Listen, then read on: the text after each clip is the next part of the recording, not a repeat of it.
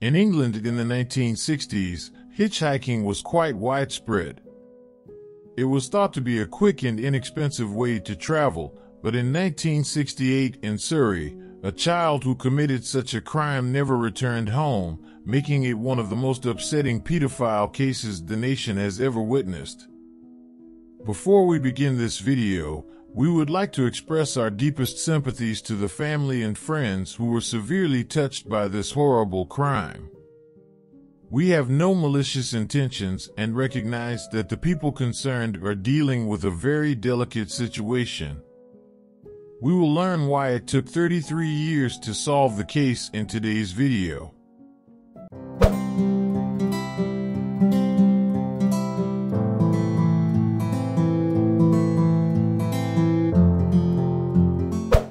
Our investigation today takes us to England, a nation that is a component of the United Kingdom.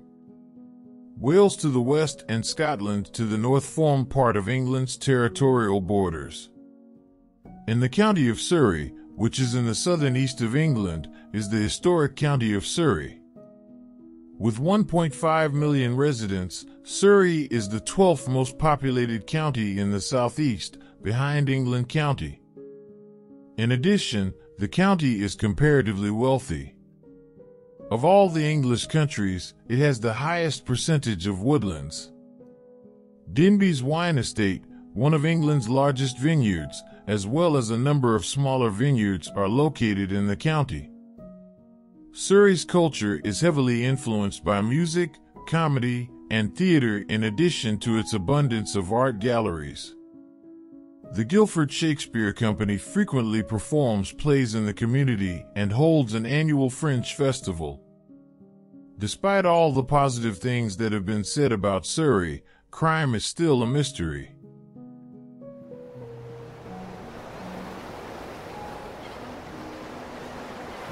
Roy Tutill, a 14 year old kid, is the subject of this case. To his mother Hilary and father Dennis, Roy was born in 1954. One of three kids, he was. The family resided in a little village called Brockham, which is renowned for retaining a sense of community that has been lost in many parts of the UK. Although his pals called him Tuts, Roy's full name was Roy Linzee Tutill. He also had a good friend named Peter who lived nearby. On April 23, 1968, Roy left his home in Surrey for school in Kingston, where he regularly attended Kingston Grammar School. He would never see his family again. He had boarded a bus with some pals after school at 3:30 p.m. on April 23rd but opted to get off later to save money for a bike.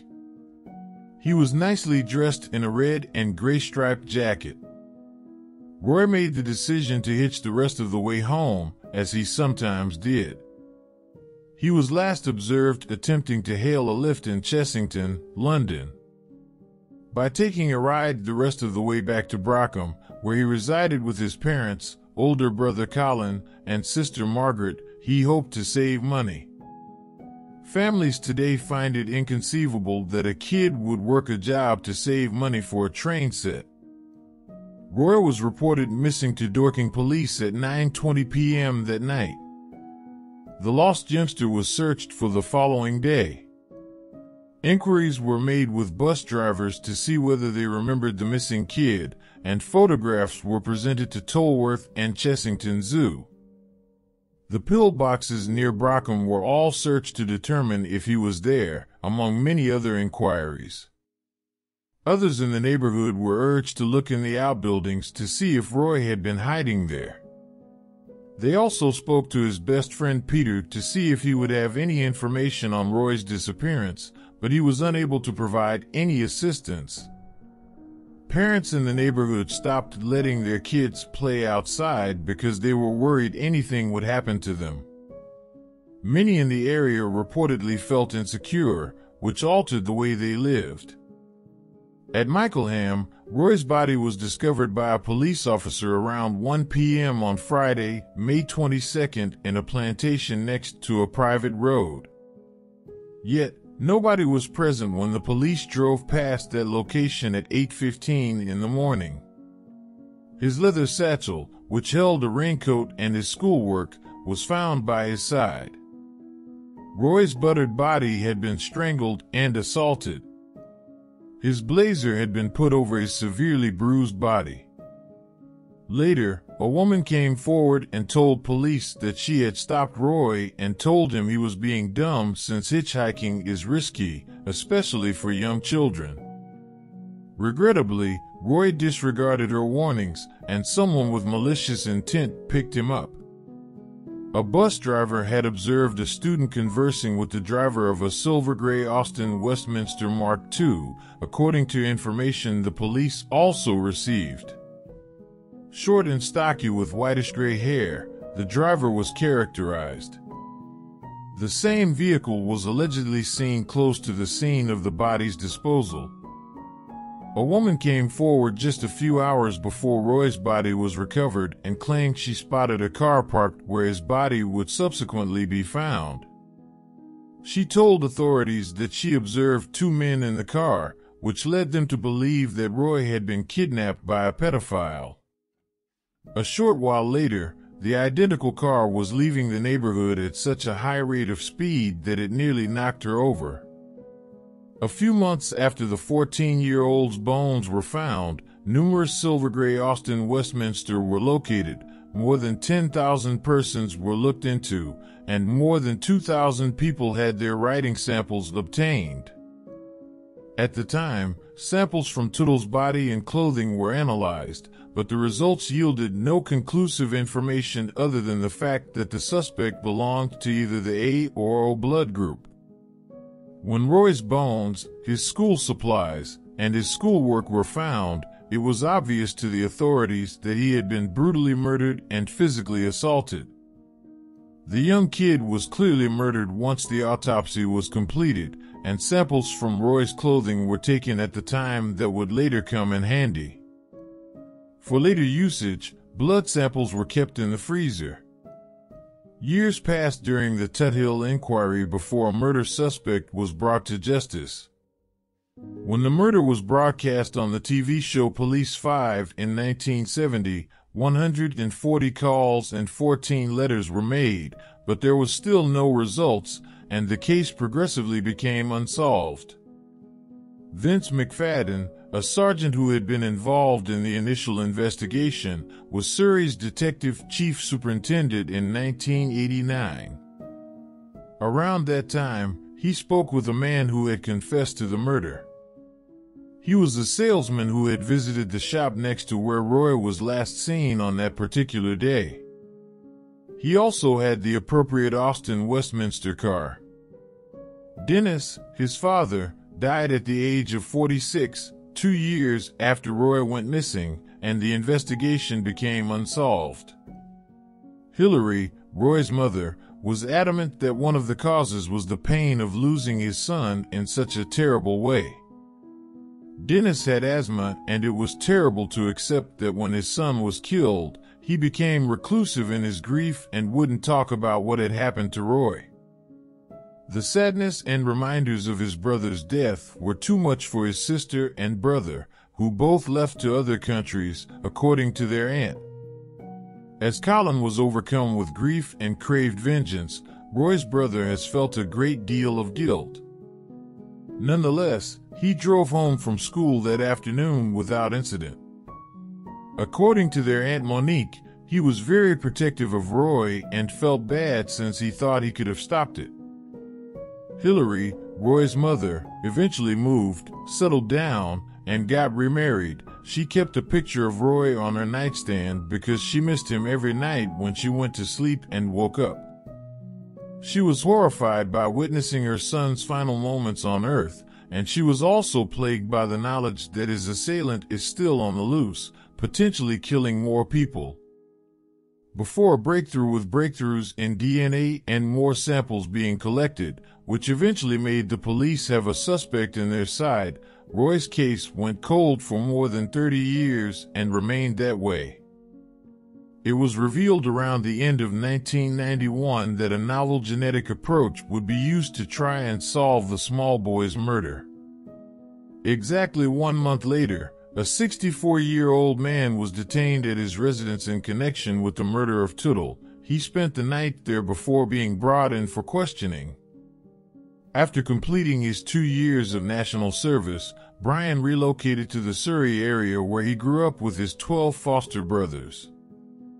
He had two previous marriages that ended in divorce, worked as a technician for a business, and frequently traveled for work. He shared a home with another man and spent most evenings in the neighborhood bar at the time of his arrest. Just a few weeks after Roy was killed, the suspect, a divorcee, moved out of the Surrey neighborhood. A man in his 60s who was only in his 30s at the time of Roy Tutill's murder was a suspect. By the time Brian Field was named a suspect in this murder case, he had already been married twice and had three kids. By the time of Roy's death, Brian's first child had only been alive for two weeks. Brian Field has previously been convicted of violent crimes against young boys and had previously done time in prison on numerous occasions. Field was in his early 30s when Roy was killed because he was born in 1937, and as we already established, he had already been married twice and had three children when he was named a suspect in this case. Brian was made a murder suspect in this case due to a DNA match, the police organizing a cold case review, his criminal background, and previous offenses. His name was mentioned when the Cold Cases program looked at comparable cases in the United Kingdom. By that point, Brian Field had numerous interactions with both the legal system and the police. The pedophile cases Brian committed in the past involved young teenage guys. The first offense for which he was prosecuted was gross indecency. In November 1969, he was found guilty and paid fine for it. The second offense, which was more serious, was jumping on a little kid who was walking alone along a country path. Brian Field assaulted the youngster, who was 14 years old at the time, and made him strip completely. Brian Field was subsequently sentenced to two years in prison. The victim this time was a 17 year old teenager, and Brian was found guilty of gross indecency in April 1982. For some strange reason, he simply had to pay a fine. He was once more accused and found guilty of crimes against young boys in September 1983. This time, he was charged with two counts of rap and received a four-year prison term. In 1986 in June, Field was last charged with a crime and found guilty. He was then given a new four-year prison term for kidnapping two teenage males. When word of Brian's arrest reached his brother Colin, who was residing in America, he remarked, Now that it's all coming back around, my initial reaction when I heard the file had been reopened and police had a suspect was astonishment. In the first year or two, I wanted retribution, but as time went on, I realized I no longer have that motive, and I haven't for a very long time. The police investigating the crime concentrated on this man because of this. According to reports, the police who were involved in Roy's murder had believed the guy who killed him was a repeat offender from the beginning. It was also made clear that, despite the fact that the victim was the target of a random attack, Tutill's murder was the result of a guy who had gone out hunting for a victim that day. Later, Two men who shared a foster home with Brian came forward and claimed that Brian had treated them badly. The previous investigators had learned about Brian Field and had made attempts to locate him so they could ask him about the murder of Roy, but he had managed to elude them since his most recent prison release. Brian worked as a gardener and at other occupations, but because he was paid cash, no tax or insurance records could be found for him. In this case, the information was gathered from the original sample, which resulted in a DNA profile in 1996, marking the beginning of the true investigation. When Brian Field was stopped by the police in 1999 on suspicion of drunk driving, it had been 13 years since his previous conviction and he had not been arrested. The National DNA Database had already been established in the UK, making it more likely than ever that someone supplying a sample in connection with a criminal offense would be apprehended. The police had to search for Brian Field once the DNA match was made. They eventually located him. Before disclosing his past homosexual and heterosexual experiences, Brian first denied any involvement in the murder of Roy. He was finally arrested on February 21, 2001. Field was unable to sleep that night, and the next morning he made a complete confession. Brian Field claims that Roy, who he didn't know at the time, got off a bus in Chessington. He spotted a young schoolboy struggling to find a ride, so he went to pick him up and promised to give him a ride home.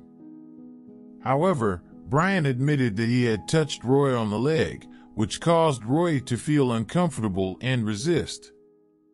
This infuriated Brian, who then drove to a lay-by and forced Roy to take off his clothes before assailing him in the front seat.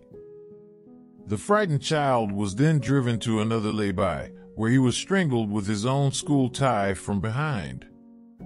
He later drove away after placing him in the boot of his vehicle and wrapping a blanket around his lifeless corpse. He then went back home to his four-month-old baby.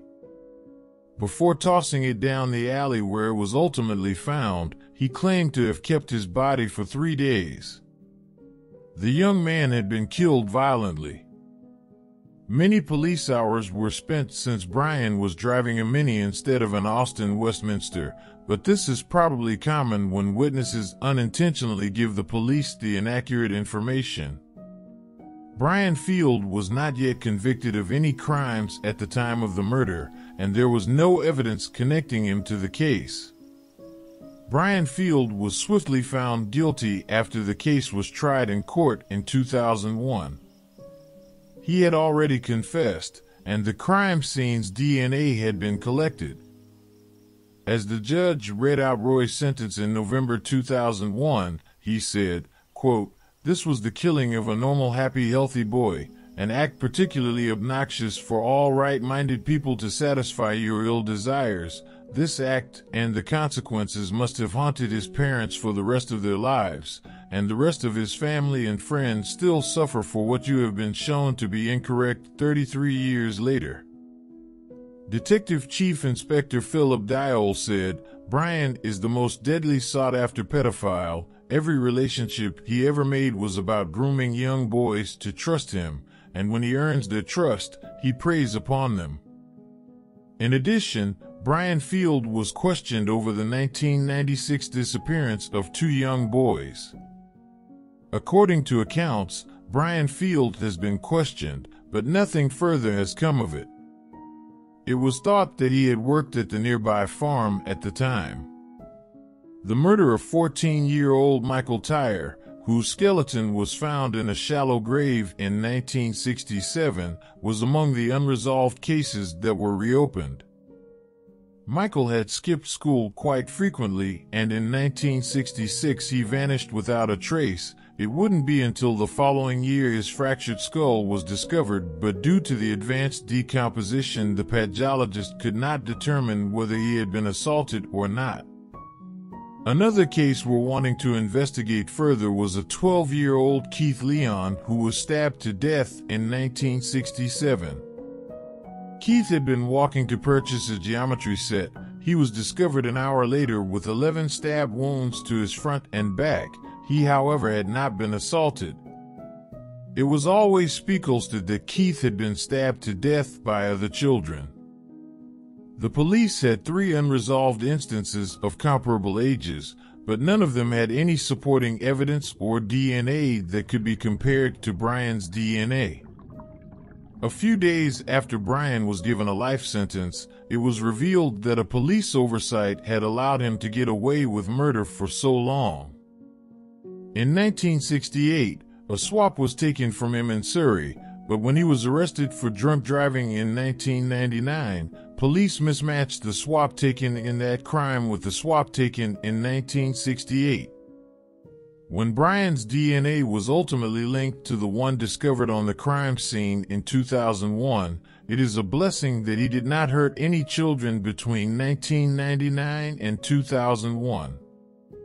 In honor of Roy, Silk Tussle, a shrub was planted in Kingston's London Road the next month. Regrettably, Roy's parents had passed away before Brian got jailed.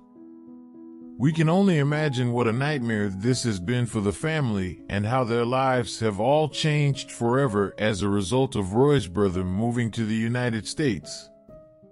Although it took 33 years to find the perpetrator, the police never lost hope of apprehending him over the years. The Roy Tutill murder case was the oldest unsolved cold case in the UK.